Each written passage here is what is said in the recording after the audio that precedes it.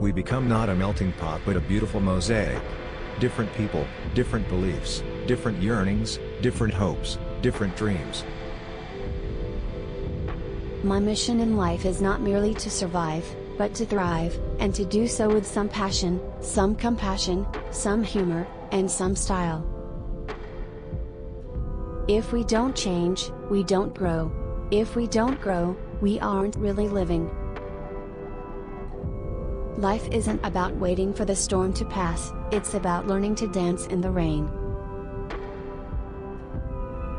Hello lovely fellows, if you like my work then kindly like, and subscribe.